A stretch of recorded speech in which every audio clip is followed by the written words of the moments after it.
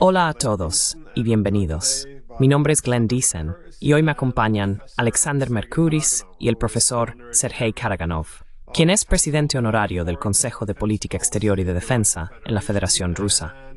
También ha sido asesor tanto del presidente Yeltsin como del presidente Putin. Bienvenidos a ambos.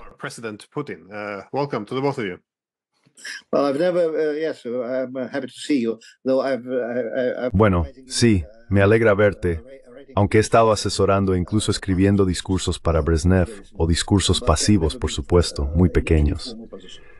Pero nunca he estado en ninguna posición formal con ninguno de los líderes. Soy completamente cuasi independiente. Por supuesto, fui miembro del Consejo de Preservación, pero no era exactamente una posición de asesor. Era el máximo órgano del Consejo durante Yeltsin. Pero renuncié en protesta en el 88 cuando vi que el régimen de Yeltsin se estaba volviendo absolutamente corrupto. Pero de todo Yarans, y vis, porque soy un man, pero soy responsable.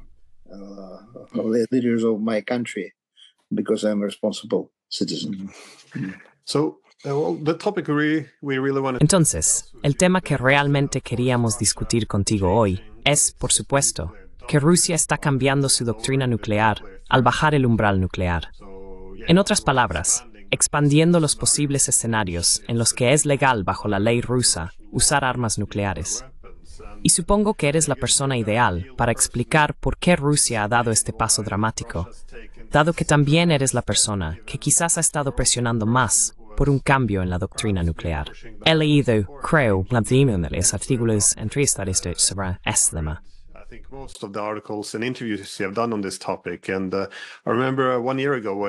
Y recuerdo hace un año, cuando estábamos en esta reunión de Valdai en Sochi, Putin se dirigió a usted personalmente y argumentó en ese momento que Rusia no estaba lista para cambiar su doctrina nuclear.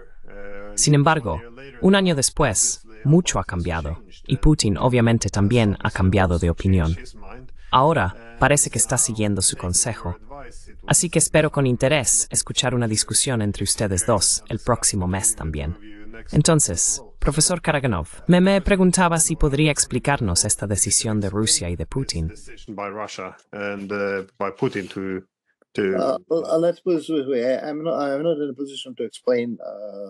Pongámoslo de esta manera. No estoy en posición de explicar la posición de nuestro presidente, aunque por supuesto nos comunicamos con él en audiencias abiertas más tarde y probablemente entiendo lo que está pensando. Pero solo puedo dar mi propio entendimiento del tema. Entonces, Rusia, volvamos atrás. La doctrina nuclear rusa y también la política militar rusa se basaban principalmente en ideas heredadas de los años 70 y 80. Estaba absolutamente desactualizada entre incluso yo no podía entender completamente cómo nuestra doctrina nuclear era tan contraproducente en el mejor de los casos. Probablemente la gente simplemente no pensó en eso.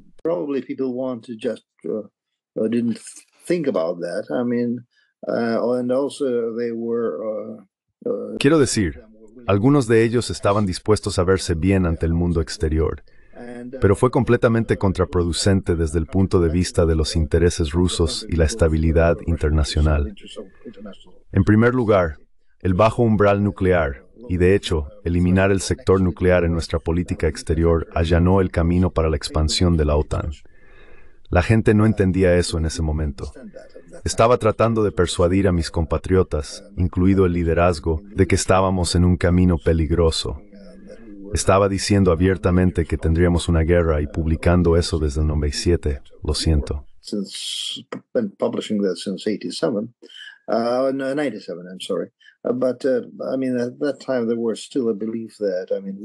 Pero quiero decir, en ese momento todavía existía la creencia de que estábamos tratando con personas distantes y que los mitos básicos de la antigua era nuclear prevalecían. Así que la situación se volvió absolutamente insostenible hace varios años, cuando quedó claro que nos dirigíamos hacia una confrontación abierta. Y Rusia cometió varios errores. Primero, tardó en emitir un ultimátum. Segundo, al emitir un ultimátum, probablemente Rusia no estaba lista para usar todos los instrumentos que tenía. Y así obtuvimos lo que obtuvimos. Y eso es una guerra prolongada con ya más de varios, tal vez dos millones de sacrificios por parte de Ucrania, y unos pocos miles de soldados rusos.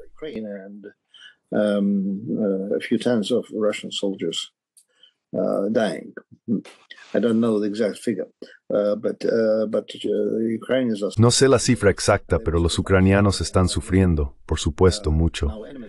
Y fueron sacrificados por nuestros ahora enemigos occidentales, absolutamente cínicos y simplemente arrojados al fuego. Ahora se están preparando a otros europeos para ese destino. Con suerte, evitaremos eso. Además, el umbral nuclear y de alguna manera ignorar el factor nuclear en los asuntos internacionales fue cada vez más contraproducente debido a la tendencia general, no solo a las tendencias Rusia-Occidente. Las placas tectónicas bajo el sistema internacional se han desplazado, entrando en un largo periodo de ajuste, lo que automáticamente traerá muchas tensiones y guerras. Al evadir el factor nuclear, de alguna manera allanamos el camino hacia una nueva ola de guerras, no solo entre Rusia y Occidente. Y eso también fue irresponsable.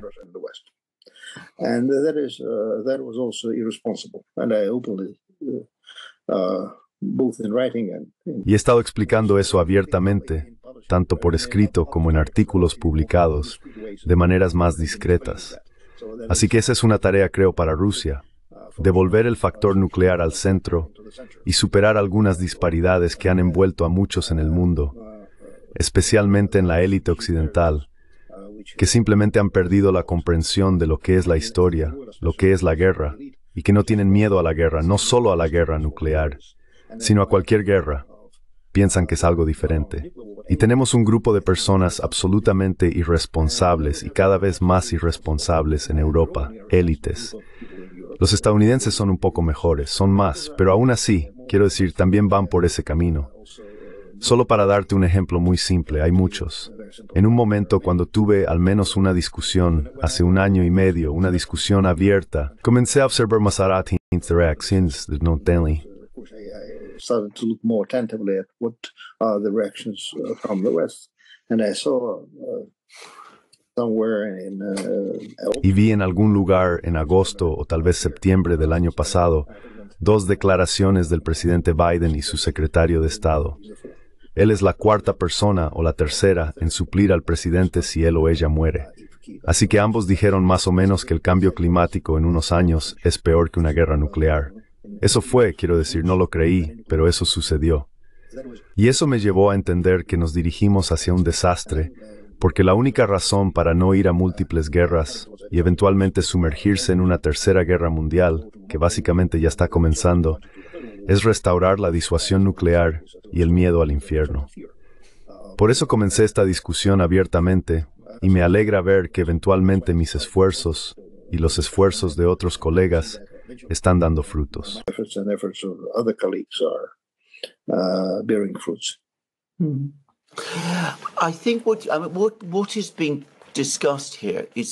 Creo que lo que se está discutiendo aquí, me parece, es el restablecimiento de la disuasión.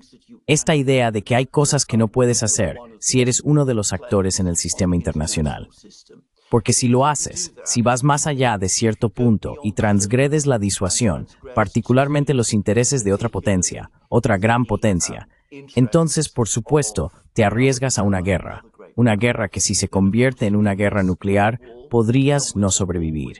Ahora, hubo muchos ejemplos de disuasión durante la Guerra Fría, y solo quería enumerar algunos.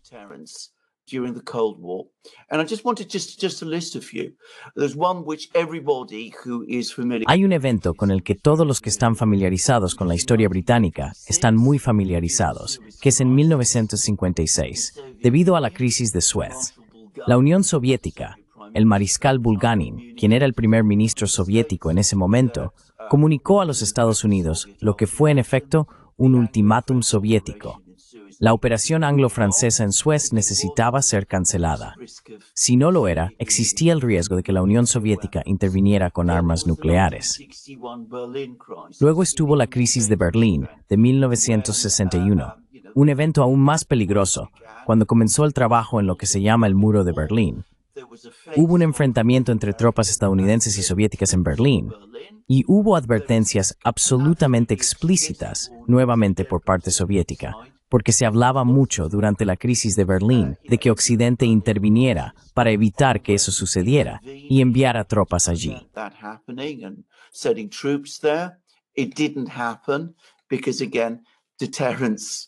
No sucedió porque nuevamente la disuasión, la disuasión nuclear, fue efectiva entonces. Hubo otro episodio que de hecho recuerdo. Recuerdo haber leído sobre ello cuando sucedió, que fue a principios de los años 70, durante la guerra de Vietnam, cuando había preocupaciones sobre el hecho de que la Unión Soviética estaba enviando barcos con suministros de armas a Haiphong en el norte de Vietnam. Se habló de atacar y bombardear esos barcos soviéticos. Se habló mucho de ello en ese momento. Se entendía que hacerlo sería un acto de guerra contra la Unión Soviética. Nuevamente, la disuasión, la disuasión nuclear, jugó un papel.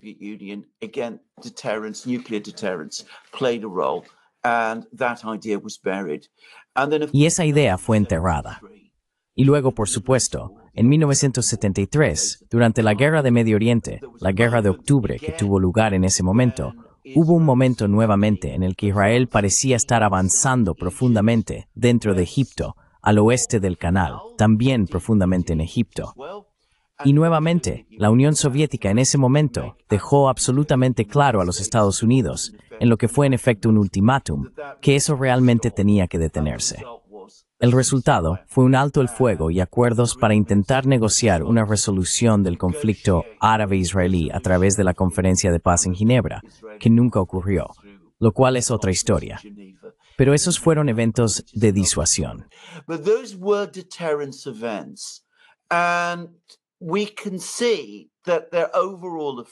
Y podemos ver que su efecto general fue realmente reducir las tensiones significó que en lugar de que la situación se saliera completamente de control en el Medio Oriente en 1956-73, en Europa con la crisis de Berlín y en Vietnam con las propuestas de atacar los barcos soviéticos que iban a Haiphong, lo que realmente sucedió como resultado de todos esos eventos es que realmente obtuvimos la distensión. Y también obtuvimos, quiero decir, no he mencionado, obviamente, lo que creo que en Rusia llaman la crisis del Caribe, la crisis de los misiles en Cuba, que fue quizás otro ejemplo extremo de disuasión, el más cercano que estuvimos durante la Guerra Fría a que la disuasión se rompiera.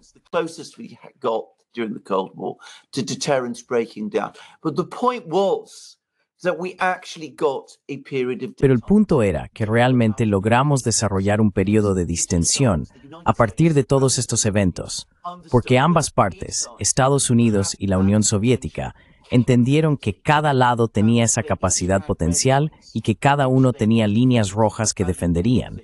Y lo importante era establecer comunicación y diálogo y determinar dónde estaban las líneas rojas de cada lado. Y eso, de hecho, durante un periodo significativo, aseguró la paz en Europa. Así que creo que de esto estamos hablando. Al hablar de restablecer la disuasión, podríamos encontrar el camino de regreso, algún tipo de entendimiento y eventual paz. Ahora, ¿estoy equivocado en lo que he dicho?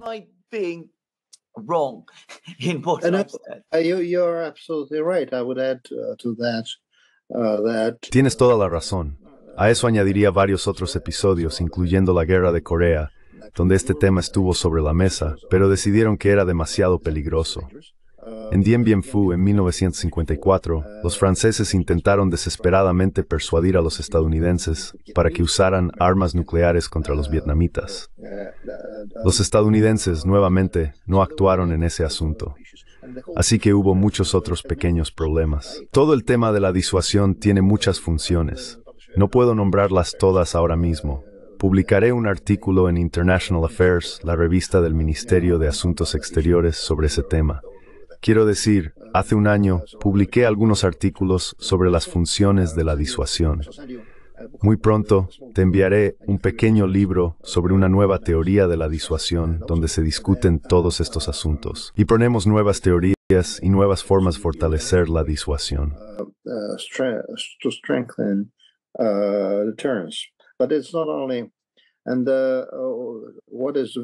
Pero no es solo eso.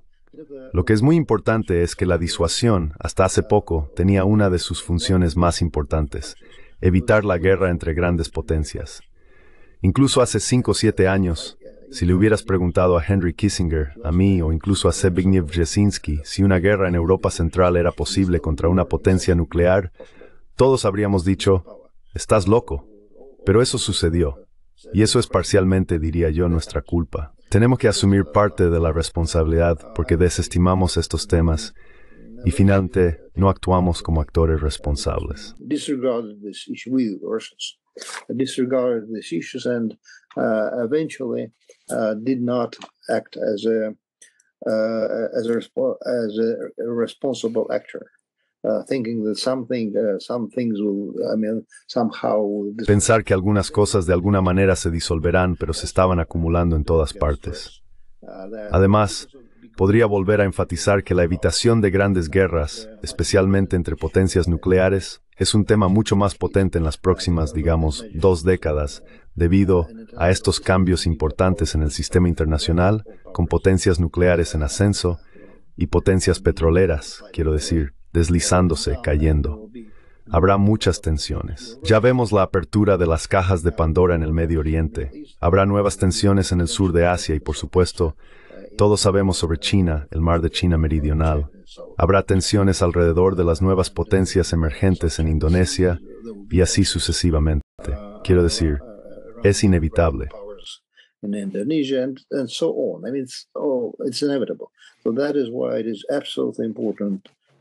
uh, Por eso es absolutamente importante restaurar el miedo a las armas nucleares.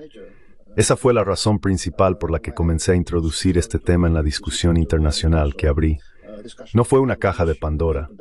Espero que eventualmente ayude a la humanidad a sobrevivir si tomamos las decisiones correctas. Por supuesto estaba el problema ruso, y eso es cómo terminar. Cómo ganar la guerra con Occidente en el territorio de Ucrania sin sacrificar a demasiados de nuestros mejores hombres. Pero es importante. Sin embargo, diría que es secundario. Lo principal es evitar el deslizamiento inevitable hacia una tercera guerra mundial debido a la negligencia de todas estas tensiones y la negligencia del papel de las armas nucleares. uh, uh, strategy. Eran armas nucleares. Soy un historiador de la estrategia nuclear y podría añadir a tu lista. Absolutamente. En 1981 podría decir que los soviéticos enviaron una señal poderosa a la administración de que creían que los estadounidenses se estaban preparando para un ataque nuclear. Después de eso, en uno o dos años, la mayoría de los halcones en la administración de Reagan fueron despedidos y reemplazados por personas más responsables y razonables. Reagan comenzó a calmarse y eventualmente esto llevó a las reuniones Reagan-Gorbachev, que por supuesto tuvieron significado. Sin embargo, las cosas estaban bar.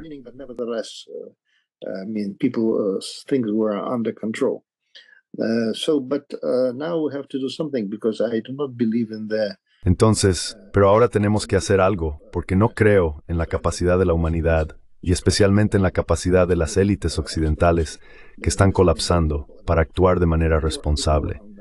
Lo que está sucediendo es increíble.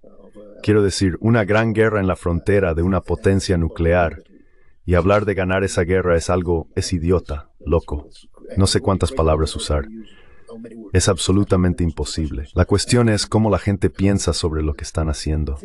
Y por eso he estado persuadiendo a mi propia gente y a otros de que tenemos que bajar el umbral nuclear, poner el tema nuclear de nuevo sobre la mesa y persuadir a nuestros enemigos occidentales, si todavía tienen algo de sentido común, de retroceder y reconocer la derrota antes de que sea demasiado tarde para ellos. Hay dos razones básicas para una gran guerra y para terminar esta guerra.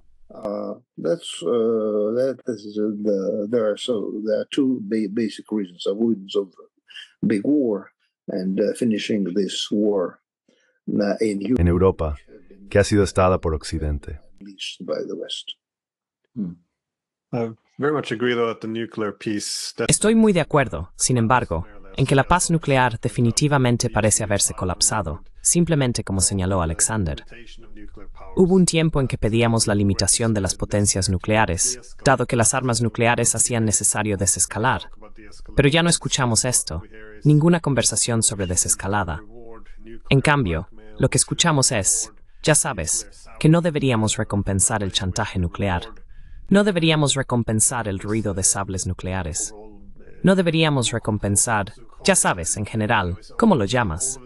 De todos modos, todo esto se ve como que ahora lo estamos vendiendo efectivamente como inmoral aceptar esta paz nuclear. Así que si aceptas la disuasión, eso significa que se convierte en una inmoralidad. Así que es algo muy extraño y absurdo, supongo, rechazar toda esa paz nuclear de la que dependíamos.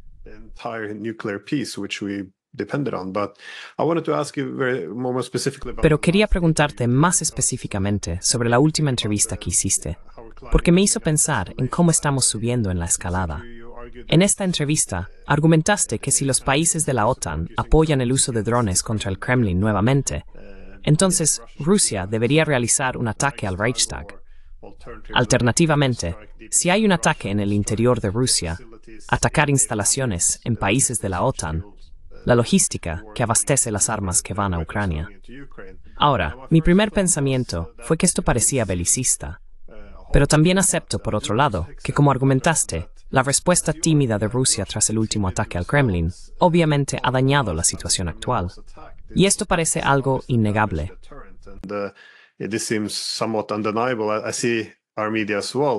Veo también a nuestros medios, donde la moderación o respuesta limitada de Rusia fue interpretada como debilidad. Y ya sabes, podemos ver al propio Joe Biden. En un momento dijo, no podemos enviar F-16, es la tercera guerra mundial. Ahora la retórica es que Rusia no se atreve a responder, así que sigamos escalando. Pero lo que me preguntaba, lo que parece que sugieres, es que Rusia debería estar preparada para subir la escalera de escalada. Eso significa que o haces ataques directos a países de la OTAN, pero luego si la OTAN responde de nuevo y terminamos en grandes ataques convencionales mutuos, también argumentaste que debería haber un ataque nuclear, una guerra nuclear limitada, pero abogaste por atacar a los europeos antes que a los Estados Unidos. Me preguntaba si podrías decir algo sobre esta escalera nuclear o escalera de escalada según la ves.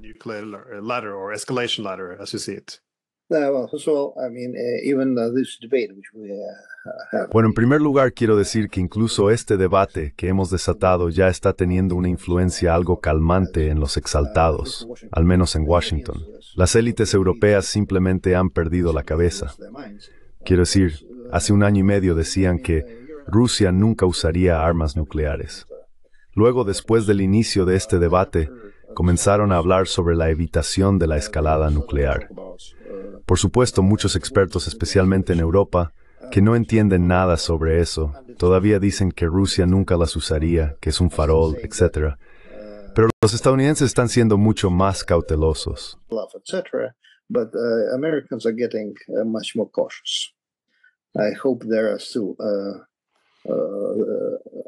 Espero que todavía haya algunas personas, al menos en el ejército y en otros lugares, que entiendan las realidades de este mundo. Sin embargo, una de las razones por las que comencé a introducir este tema y ponerlo sobre la mesa es que vemos un deterioro muy rápido de las élites gobernantes occidentales. Así que si no hacemos algo ahora, en varios años tendremos una situación mucho peor. Así que tenemos que escalar la escalera de la escalada lo antes posible. Y ya hemos comenzado. Nos estamos preparando para desplegamos misiles de largo alcance en Bielorrusia, realizamos varios tipos de ejercicios nucleares y anunciamos la preparación para la restauración de pruebas de armas nucleares. Y habrá varios otros. Te enviaré nuestro libro muy pronto. I, will send you uh, our book uh, very soon. Entonces, hay algunas descripciones de estas cartas, pero no quiero especular sobre eso porque es un asunto de la más alta autoridad, cuál de las recomendaciones o recomendaciones de otros usar. Pero, por supuesto, todavía tenemos varios pasos, creo que 10 o tal vez 12, para subir la escalera de una explosión nuclear si no funciona. Pero espero que funcione porque los estadounidenses, al menos los estadounidenses, entienden cuál será la realidad incluso si ocurre un ataque nuclear limitado. No estoy hablando de la posible escalada a una guerra nuclear total que acabaría con la civilización moderna tal como es, pero incluso un ataque nuclear limitado, digamos, en el territorio de los Estados Unidos, provocaría el colapso de los Estados Unidos, un país con 650 millones de armas. Y por lo tanto, the country with 650 million weapons and hence of the population. Imagine what will stop there. It's, imagina lo que se detendrá allí. Es uno de los elementos. Los europeos simplemente no entienden eso, desafortunadamente, y espero que todavía haya algunas personas en Europa o estadounidenses que los persuadan cuando entiendan la inevitabilidad de subir la escalera. Pero todavía espero que no tengamos que llegar al uso real de armas nucleares porque es un terrible pecado moral. Incluso si los europeos lo merecen, ser eliminados porque han desatado dos guerras mundiales en el siglo anterior y ahora están tratando de desatar una tercera guerra mundial. Es simplemente increíble.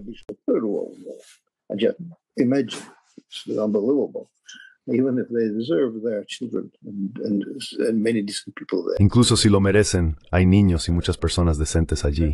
Así que preferiríamos mucho no usar armas, también, porque usar armas nucleares, incluso con mucho éxito, llevaría al colapso de la OTAN, a la desintegración de los gobiernos, etc.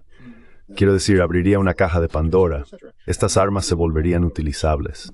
Y antes, quiero decir, hace 10, 15, 20 años, en discusiones todos estos temas compensadores importantes en Occidente se decían entre sí que el peor escenario es que India y Pakistán intercambien golpes nucleares y el mundo no colapsará.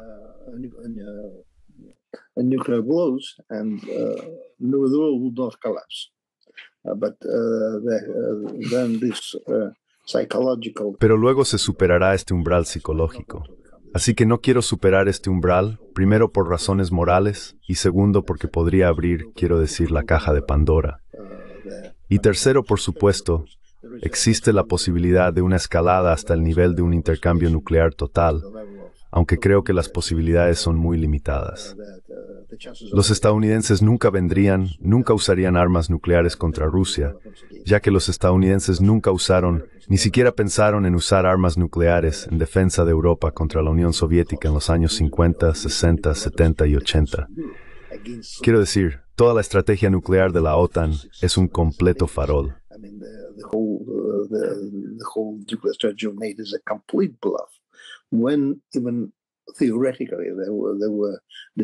Cuando incluso teóricamente discutían estos temas, se trataba del uso de armas nucleares contra columnas de la época soviética, avanzando hacia la Mancha en el territorio de Alemania.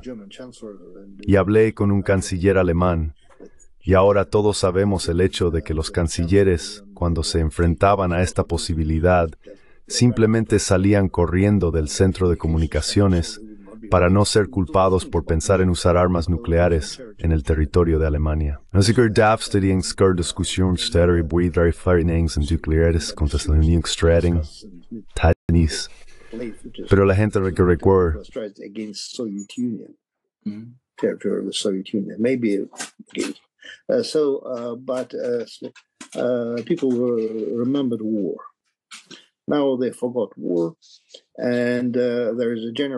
Ahora han olvidado la guerra y hay un deterioro general de las élites occidentales. Y eso es muy peligroso.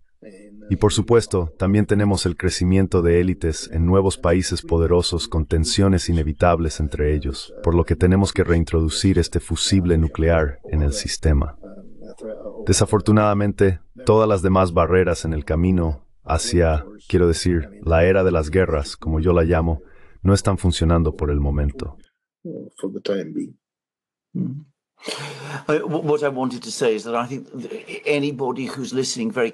Lo que quería decir es que creo que cualquiera que esté escuchando con mucha atención lo que estás discutiendo entiende que el propósito es asegurar la paz. Lo digo porque la forma en que se ha presentado en Occidente es que toda esta discusión en Rusia es de alguna manera amenazante y peligrosa. No es amenazante ni peligrosa. Está destinada a intentar encontrar un marco estable para restablecer la paz. Como alguien que vivió en los años 70, puedo decir con certeza que nunca me sentí más seguro que en ese momento. Durante el periodo de distensión, la idea de una guerra nuclear entre las superpotencias era realmente impensable. Todos los que recuerdo en ese momento hablaban de una situación muy estable que existía en Europa.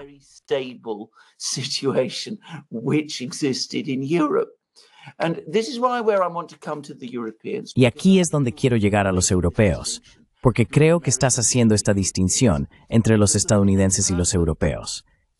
Lo que ha sucedido es que, y por cierto, Glenn ha escrito, creo, un libro excelente sobre esto, es que con el fin de la Guerra Fría, no solo fue el hecho de que la doctrina nuclear de Rusia permaneció congelada en el mundo de los años 70 y 80, también fue una percepción que creció de que Rusia ya no era un factor importante en las relaciones internacionales. Así que los europeos en particular se dijeron a sí mismos, bien, ahora podemos hacer lo que queramos. Podemos reorganizar Europa. Ahora ya no tenemos que pensar más en los rusos. Tenemos todo tipo de problemas con los rusos que algunos países europeos tienen. No todos. Yo soy de un país, Grecia, que no tiene problemas con Rusia, pero Gran Bretaña indudablemente sí los tiene. No entiendo por qué, pero los tienen.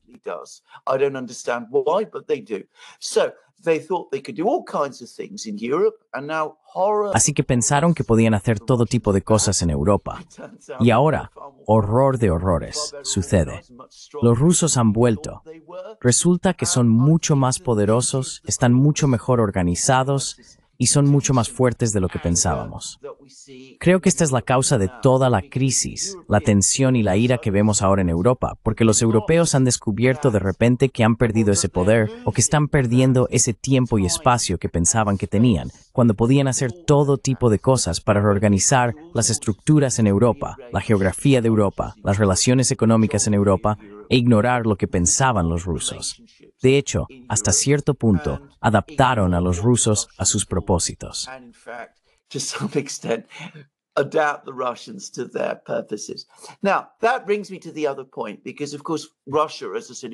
Ahora, eso me lleva al otro punto, porque por supuesto, Rusia, como dije, se está restableciendo definitivamente como una gran potencia. Esa es la gran historia de los últimos tres años, en mi opinión. El segundo es el cambio en la doctrina de Rusia, el cambio doctrinal, que creo que está conectado con esto. ¿Puedes explicar por qué, en términos rusos, necesitas tener una doctrina nuclear en absoluto?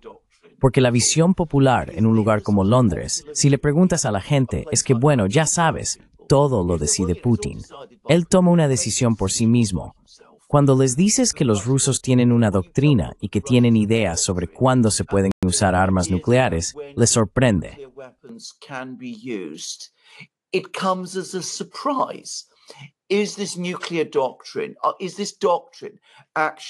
¿Es esta doctrina nuclear realmente una ley? ¿Es algo que pretende comunicar a las potencias occidentales cuándo Rusia usará armas nucleares? ¿O tiene algún efecto normativo dentro de Rusia misma? Moldea la toma de decisiones en una crisis, de manera que cuando el presidente tiene que tomar una decisión, lo hace dentro de un marco particular que establece la doctrina. Esa es una pregunta que aprecio. Podría estar acercándome mucho a preguntar sobre cosas que podrían ser sensibles y de las que los rusos podrían no querer hablar demasiado, porque los procesos de toma de decisiones de esa naturaleza podrían, por un lado, incluso estar clasificados. Pero no obstante, hago la pregunta.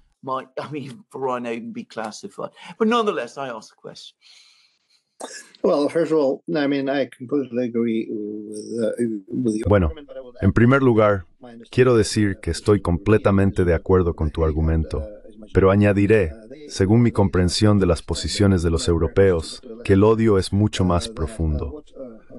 Están empezando a entender, y los estadounidenses también, pero en menor medida, que lo que la Unión Soviética y luego Rusia han hecho es socavar sus dulces 500 años de dominio en el sistema mundial, lo que le dio a Europa y luego a Occidente la posibilidad de extraer recursos de toda la humanidad. Yo diría que fue una diatriba militar. Europa y Occidente han sido predominantes durante 500 años, colonizando, explotando el mundo y luego estableciendo formas neocoloniales de desviar recursos del resto del mundo. Ahora nuestros vecinos europeos tienen que entender que tienen que trabajar para ganarse la vida por fin.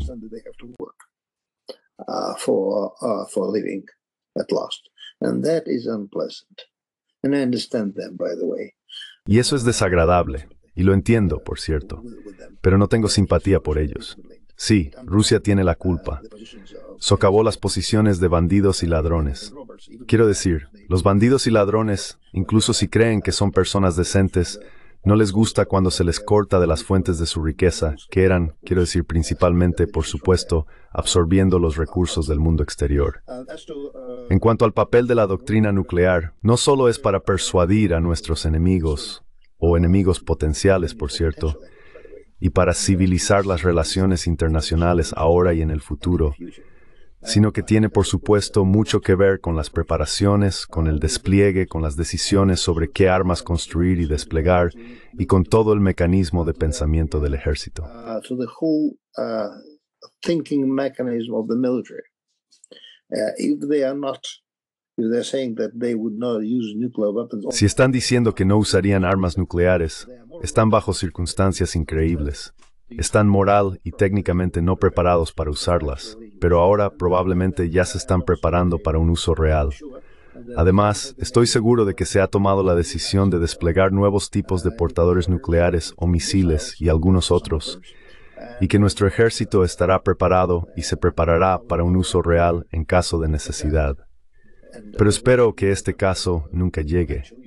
Así que la adopción nuclear es muy importante. Además, por supuesto, está la punta del iceberg. El problema es que la punta es donde estaba suprimiendo el iceberg. Ahora la punta desarrollará iceberg. uh, uh, iceberg. Now, I mean, the tip will develop the iceberg, and that is why it is, uh, it is important for us. And Y por eso es importante para nosotros. Y también es importante para el liderazgo más alto del país. Si estuvieran profesando y realmente creyendo en la idea de que Rusia debería usar armas nucleares bajo las circunstancias más impensables, estaban más que preparados. Ahora se están preparando más, por si acaso. Y eso ayuda a la Iglesia. Espero nuevamente que incluso esta preparación moral que ves suceder justo frente a nuestros ojos nunca nos lleve al uso real. Porque, como he dicho, creo que es altamente inmoral y también relativamente peligroso en términos de paz mundial a largo plazo, incluso si pudiéramos ganar esta guerra fácilmente. Pero también tenemos que cambiar nuestras mentes. Y eso ha sucedido. Muy bien. But we have to change also our minds, and that is happening. Very. Before, you mentioned Belarus, and I think, yeah, this seems to be. Antes mencionaste Bielorrusia, y creo que esto parece ser un componente clave de estos cambios en la doctrina nuclear, ya que se mencionó como una de las áreas. Me recordó un poco a una discusión que Alexander y yo tuvimos con el embajador bielorruso, Dmitry Mironchik.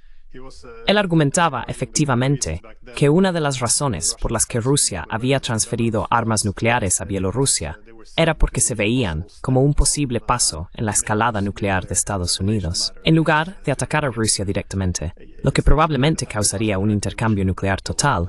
Se veía como una forma de llegar a Rusia y castigar a Rusia simplemente atacando a un aliado. Ahora parece, en Occidente, como una acusación extravagante.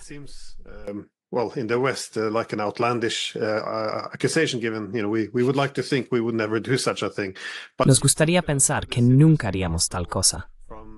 Pero él nos señaló este interesante artículo de The Atlantic, de hecho, donde se basaba en un informe en el que funcionarios de Obama habían establecido un grupo asesor sobre cómo respondería Estados Unidos a una hipotética invasión rusa de un país de la OTAN y cómo debería proceder Estados Unidos en la escalada.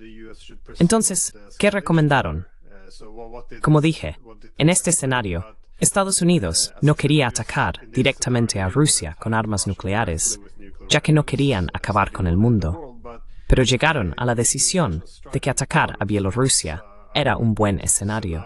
Y nuevamente encontré esta cita también, porque pensé que era bastante interesante del artículo en términos de por qué Estados Unidos debería atacar. The United States should attack and this was from the National Security Council principles Y esto fue del Comité de Principios del Consejo de Seguridad Nacional, que recomendó un ataque nuclear contra Bielorrusia. Y argumentó, sí, una nación que no había jugado ningún papel en la invasión de un aliado de la OTAN pero tuvo la desgracia de ser un aliado ruso. Así que, incluso si Bielorrusia no hace nada malo y no participa en un conflicto, aún se consideraría atacarla con un arma nuclear simplemente como una forma de escalar contra Rusia. Así que parece bastante dramático, como un paso en la escalada. Pero supongo que plantea la pregunta, ¿qué esperas ver en esta nueva doctrina nuclear con respecto a cómo se posiciona Bielorrusia? Y Lukashenko ahora está expresando cada vez más preocupación de que la OTAN pueda extender la guerra a Bielorrusia Luego acusa a los polacos. ¿Pero ves esto como probable que Bielorrusia se convierta en otro frente en esta guerra? Belarus becoming another front in this war and uh, We see uh, we see a lot of uh, signs that Vemos muchos indicios de que la OTAN se está preparando para una guerra más grande. Se están construyendo nuevas bases o bases móviles en países como Rumanía, Bulgaria, Polonia, incluso creo Macedonia y otros. Entonces reclutarán fuerzas locales en preparación para un posible conflicto convencional prolongado. No creo que estén listos todavía, pero las élites occidentales, especialmente las élites europeas, están en un atolladero increíble. Quiero decir, han perdido todas las justificaciones morales y políticas para su gobierno, que podrían desatar una guerra para salvar su propia posición. Y antes de la declaración, que fue hecha por nuestro presidente recientemente, se creía que Bielorrusia tenía un paraguas al 100%. Ahora sabemos que tiene un paraguas al 100%.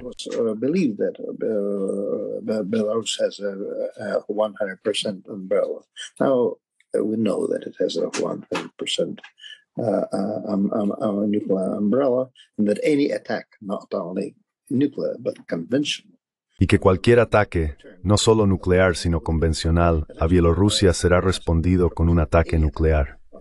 Personas como yo hemos propuesto que cualquier ataque a Rusia podría ser respondido con un ataque nuclear. Pero ya veremos. No queremos atar las manos de nuestros responsables de decisiones, incluido el presidente. Existe algo llamado ambigüedad estratégica. Él debe tener la capacidad moral, política y tecnológica para usar armas nucleares si alguien, por cualquier medio, ataca a Rusia. Sin embargo, debe tener la posibilidad y flexibilidad de usar armas nucleares solo en caso de necesidad. Y por supuesto por el bien de la disuasión, para que personas como esos idiotas en Gran Bretaña o en la mayor parte de Europa entiendan que si cruzan cierto umbral o incluso si continúan esta guerra por demasiado tiempo, recibirán una respuesta nuclear. Y eso es obvio. Pero espero que cedan y se retiren con dignidad, en lugar de tener un Afganistán más.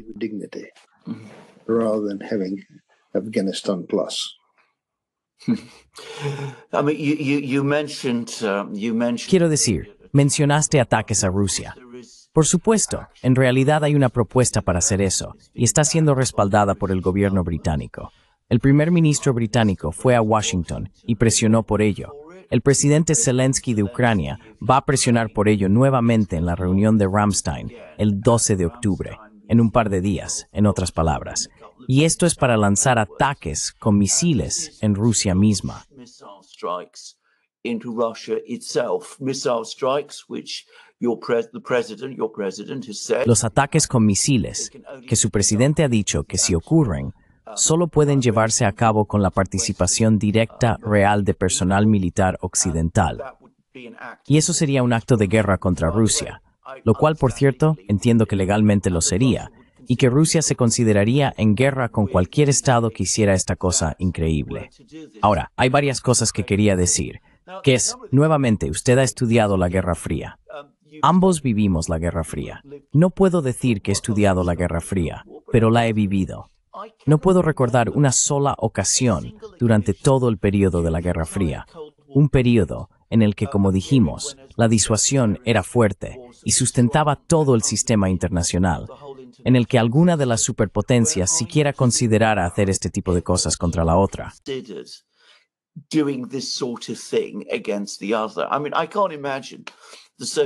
Quiero decir, no puedo imaginar a los soviéticos ayudando a los vietnamitas a lanzar ataques con misiles contra los Estados Unidos, por ejemplo.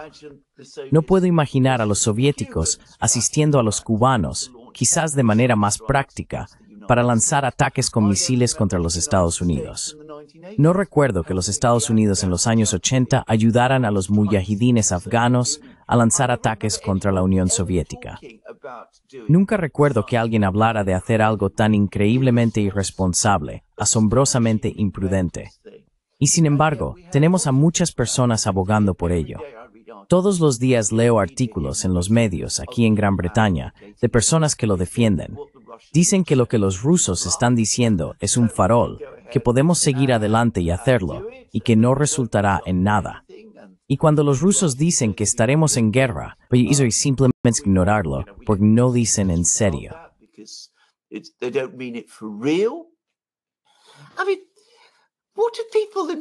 Quiero decir, ¿qué piensan las personas en Moscú cuando leen todo esto? Es un farol, lo que dijo su presidente. Tengo la sensación, por cierto, de que Estados Unidos, o la gente en Estados Unidos, el Pentágono está allí, lo están tomando muy en serio. Pero, ¿cuál es la perspectiva de todo esto en Rusia? Quiero decir, ¿cómo hemos llegado a esta posición? Quiero decir, a principios de los años 70, como dije, se descartó incluso atacar barcos soviéticos que entregaban armas a los norvietnamitas en Haiphong. Y ahora estamos hablando no solo de atacar barcos mercantes rusos, estamos hablando de atacar a Rusia misma. Ese es el grado de imprudencia al que hemos llegado ahora. Pero como digo, ¿qué piensa la gente de esto? Bueno, quiero decir esto, y presumiblemente esto se está discutiendo ampliamente en Rusia ahora, presumiblemente no solo a niveles de expertos. De todos modos, te paso la palabra sobre esto.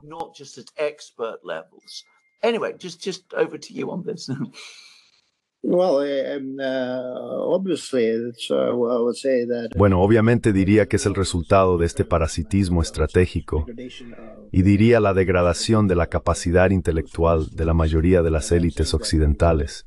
Y estoy diciendo que es un proceso que está progresando. Lo siento. Es un retroceso. Y por lo tanto tenemos que detener este proceso, esta agresión, regresión de una forma u otra, o de lo contrario, quiero decir, estamos condenados pero creo que hemos esperado demasiado tiempo. Y de hecho, ya ha habido ataques en territorio ruso por drones y personas fueron asesinadas. Y creo que eso ya causa un casus belli. Pero tenemos todo tipo de debates. ¿Dónde está el umbral? And we, we but we have all, all kind of debates. Where is the threshold? Uh, my belief is that if uh, people in Belgorod, uh, uh, Belgorod. Mi creencia es que si las personas en Belgorod son atacadas, debería haber un ataque devastador sobre las fuentes de ese ataque, y eso es sobre la OTAN. Primero con armas no nucleares. Si hubiera una respuesta, entonces debería volverse nuclear. Los estadounidenses han estado fanfarroneando que si los rusos lanzan un ataque sobre Europa, devastarían inmediatamente nuestras fuerzas militares en Ucrania o la flota rusa en Crimea. Pero enviamos señales de que entonces habría una segunda ola. Y si continúan, habrá una tercera ola. Y eso significaría matar a más de 100.000 soldados estadounidenses en Europa y en todo el mundo. Los estadounidenses son muy vulnerables. Creo que los estadounidenses están empezando a entender que su sobreextensión también es vulnerable.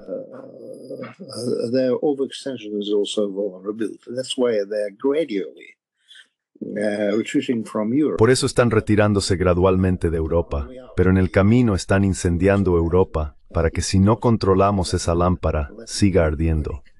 Eso está sucediendo con Ucrania. Eso sucederá con otros países europeos si no detienen este camino hacia el desastre. No solo están siendo robados por los estadounidenses, quienes les han impuesto condiciones económicas extremadamente desfavorables, donde tienen que importar combustible estadounidense caro en lugar de combustible ruso barato, sino también por el hecho de que ahora Europa no se considera un lugar seguro para la inversión. Como resultado, Muchas inversiones se están trasladando de Europa hacia Estados Unidos, junto con las líneas de producción.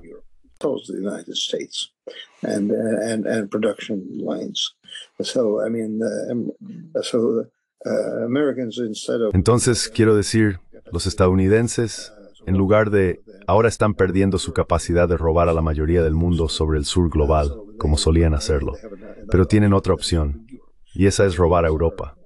Pero los europeos son, diría yo, sus élites. que yo compartimentalizo completamente. Ahora, espero que haya un cambio tarde o temprano. Comenzarían a entender que son las víctimas. Los primeros son los ucranianos, los segundos son los europeos, los terceros son los rusos, porque tenemos que perder hombres y también mujeres, perder una forma de malgastar dinero en esta campaña. Pero los mayores perdedores son los pobres ucranianos, los pobres ucranianos estúpidos y los europeos pobres y aún no pobres, pero muy estúpidos. not that we are poor, but very stupid Europeans. Yeah, yeah. I don't really have any more questions. Yeah, just Sí, realmente, no tengo más preguntas. Solo quería hacer un comentario. Recuerdo que hace una década estaba enseñando estrategia nuclear y disuasión en Australia. Recuerdo haber señalado que enviamos todas las señales equivocadas cuando, por ejemplo, países que abandonaron sus programas de armas de destrucción masiva, como Irak y Libia, fueron destruidos, mientras que países que pudieron desarrollarlas, como Pakistán o Corea del Norte, estaban a salvo.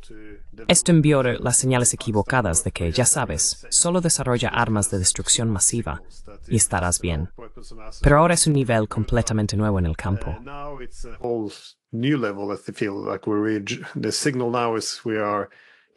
La señal ahora es que estamos rechazando cada vez más la disuasión nuclear. Estamos rechazando el principio de la paz nuclear. Pero esto solo hace más probable que alguien use armas nucleares. Y además, pone presión sobre países como Rusia para bajar su umbral nuclear. Parece una completa locura. Sí, supongo que con todo el optimismo que teníamos después de la Guerra Fría, es una gran tragedia que estemos ahora en esta situación, donde realmente no es preparando para una guerra directa, para destruirnos mutuamente. Es una gran tragedia.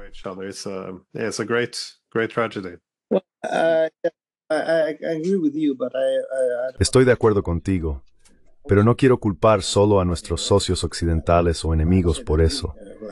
Debo decir que nos relajamos por un tiempo y olvidamos que básicamente la paz en el mundo, y especialmente la paz en Europa, que es el peor lugar del mundo en términos de desatar las peores guerras y las peores luchas en la historia de la humanidad, y también las peores ideologías que hemos decidido que no necesitamos destruir. Y fue nuestro error, y diría incluso un pecado, pero espero que volvamos.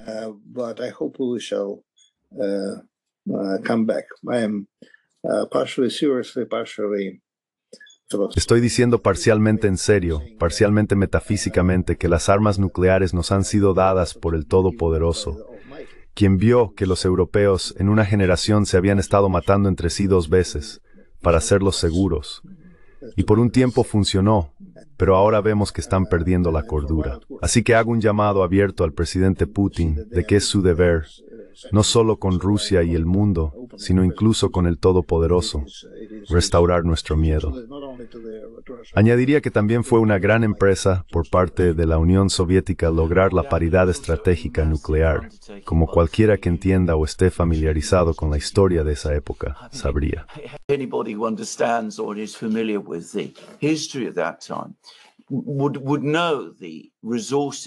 Sabrían los recursos, la energía intelectual y el compromiso que se invirtieron en lograr eso, y la enorme manera en que cambió todo el panorama internacional desde mediados de la década de 1960, cuando se logró.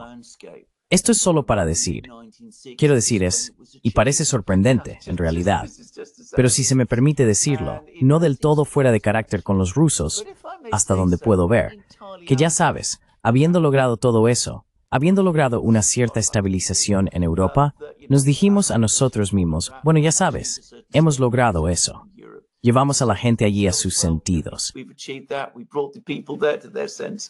Now let's turn our swords into plowshares and Ahora transformemos nuestras espadas en arados y avancemos con la paz e intentemos ser amigos de estas personas una vez más. to the 1890s. Remontándonos a la década de 1890, recuerdo que el zar Nicolás ya estaba proponiendo todo tipo de cumbres de paz y conferencias de desarme. Creo que esto es muy característico de los rusos. Voy a hacer una última pregunta. Esta es la última pregunta para mí. ¿Cuál es el estado de ánimo en Moscú ahora? Esto es solo sobre guerra y sobre la situación general.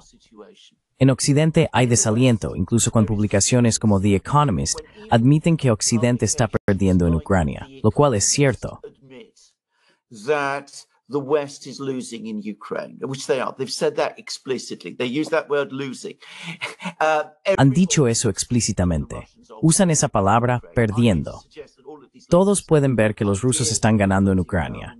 Voy a sugerir que todas estas últimas ideas que están circulando en Occidente, ataques profundos en Rusia, entrada acelerada de Ucrania en la OTAN, son los últimos suspiros de personas que intentan idear algún tipo de plan para revertir lo que ahora es una situación irreversible. Pero ¿cuál es el estado de ánimo? ¿Es eufórico?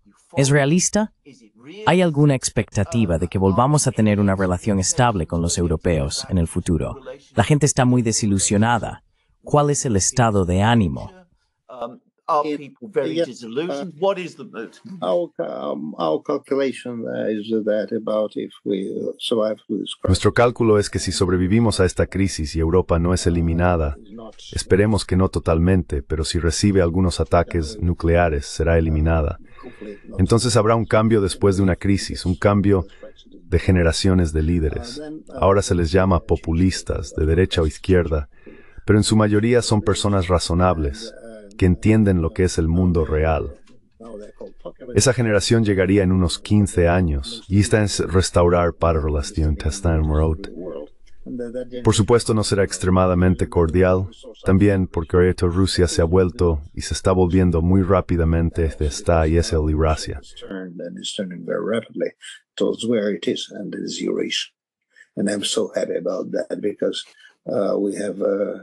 Y estoy tan feliz por eso porque hemos terminado nuestro viaje europeo que creo que debería haber terminado hace más de 100 años, antes de que fuéramos infectados por el marxismo-leninismo, en su peor sentido, porque hay muchos elementos en el marxismo y el leninismo que son perfectamente sensatos, pero obtuvimos lo peor de eso. Deberíamos haber detenido eso, tal vez al comienzo del siglo anterior, antes de la guerra.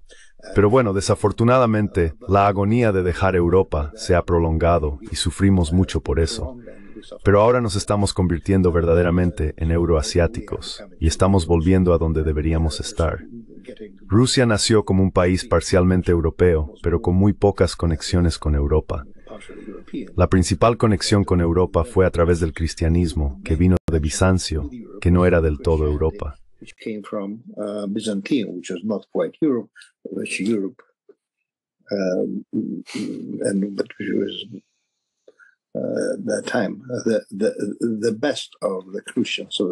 Lo mejor de la civilización cristiana. Por eso los paganos rusos adoptaron el cristianismo de Bizancio. Pero luego, desde el siglo XVI, nuestras posiciones en el mundo se han construido sobre nuestro desarrollo y la conquista y desarrollo de Siberia y la absorción de todas las culturas y todos los genes de Siberia. Rusia ha sido una potencia colonial muy única, que ha estado integrando a las naciones, las etnias que conquistó o integrándose con ellas. Por eso se vuelve tan multicultural y abierta al mundo exterior. Así que estamos volviendo a donde estamos, donde deberíamos estar. Y por eso mi próximo proyecto será la ciberización de Rusia. Pero ese será el tema de los próximos varios artículos, espero, cuando termine este trabajo con asuntos nucleares.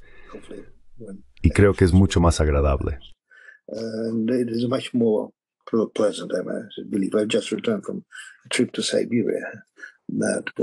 Acabo de regresar de un viaje a Siberia, a la antigua capital de Siberia, que se llama Tomsk, un lugar hermoso, fantástico.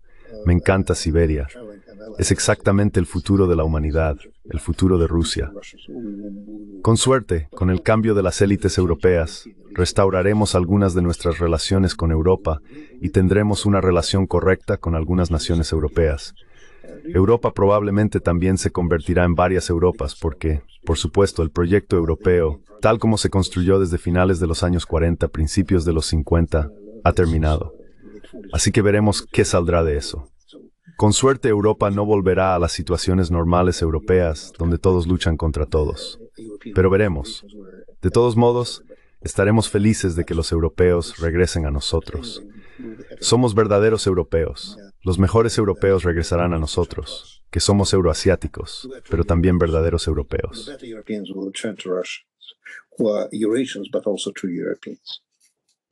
Suenas un poco como Dostoyevsky. Creo que él dijo algo así. Solo iba a decir eso.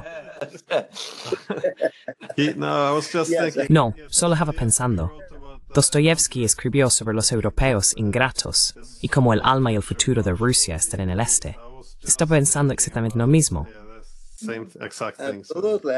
And uh, that is. I mean, we we, we could talk on. with- Absolutamente, absolutamente. uh, Podríamos hablar de eso cuando nos encontremos, porque terminaré con los funcionarios. reading Dostoevsky now. He estado releyendo a Dostoyevsky ahora después de entender que nació como un gran pensador y escritor. When he was, uh, Cuando estaba en trabajos forzados, era un revolucionario y fue enviado a trabajos forzados.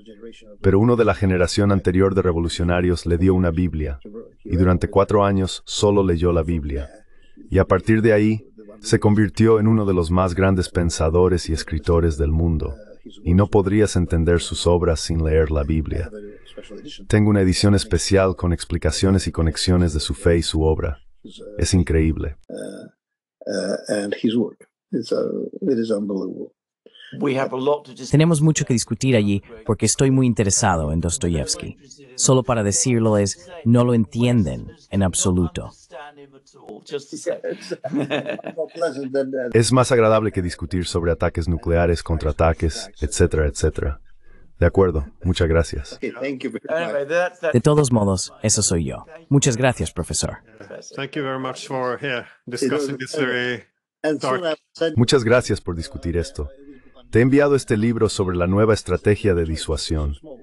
Es un libro pequeño, de unas 450 páginas, y ya está agotado. Creo que lo llevaremos a la reunión de Valdai, pero cuando esté oficialmente agotado en varios días, enviaremos a nuestros amigos la traducción, que también está lista. Ya se ha traducido varias veces en China, porque hemos intercambiado con los chinos antes. Bien, cuídate. Muchas gracias. Muchas gracias. Okay, Yeah. take care, and we shall Thank see you very much. Thank you so much. Thank you. Thank Bye. you.